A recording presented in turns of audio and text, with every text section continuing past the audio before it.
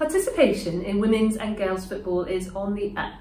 However, there is a growing concern about serious injuries in the sport and particularly things like ACL injury to the knee.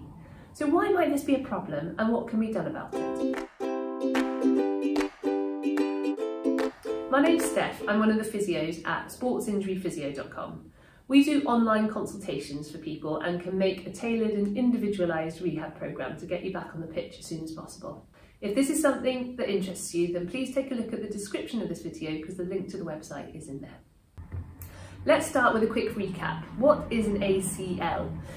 ACL stands for anterior cruciate ligament. It's one of the ligaments in the knee that gives it stability. And if we imagine that this is your shin bone or tibia, and this is your thigh bone, which is your femur, and this is the knee joint that bends and straightens. There are two cruciate ligaments within the knee joint that cross over, hence the name cruciate, which means cross. Um, the anterior cruciate ligament stops the tibia, the shin bone, from sliding forwards on the femur. Without it, the knee is less stable and more prone to either serious injury um, or later on down the line, possibly an earlier onset of osteoarthritis.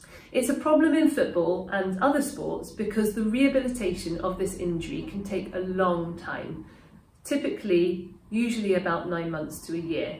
Sometimes it can be quicker, but it's never really very sensible to rush back too early with this type of problem.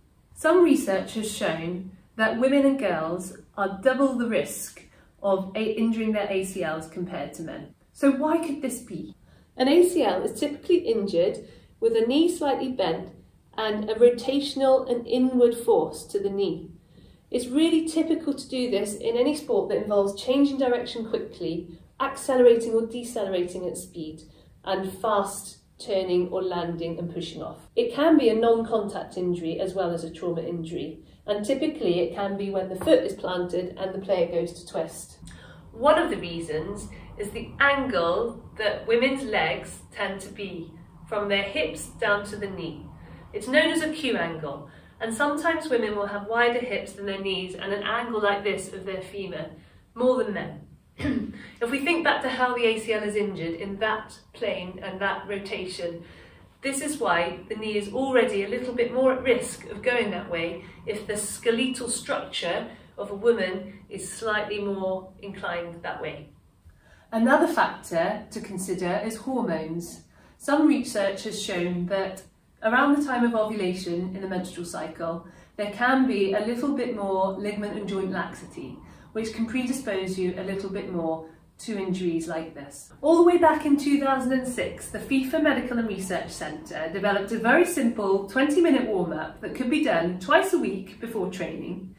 Um, and it was found by research to reduce overall injuries in soccer by a third and serious injuries by half.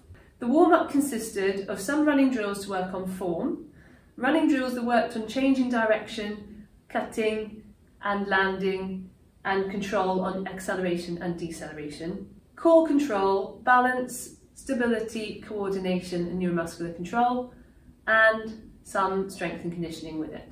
They're all simple exercises that don't need a lot of equipment. And it has been shown by study after study to reduce injuries every single time. It has also been shown to reduce injuries in other sports, such as rugby and basketball. Another factor to consider is that women can have lesser core and general strength and conditioning than men, putting you more at risk of this type of injury.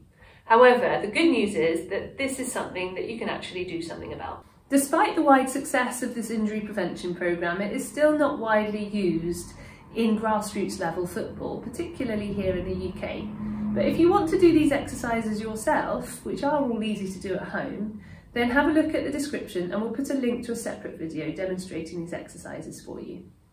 I hope that you found this helpful and hope that you have an injury-free season. But if you do run into any trouble, please do get in touch and we'll be more than happy to consult with you and help make a plan to get you back as quickly as possible.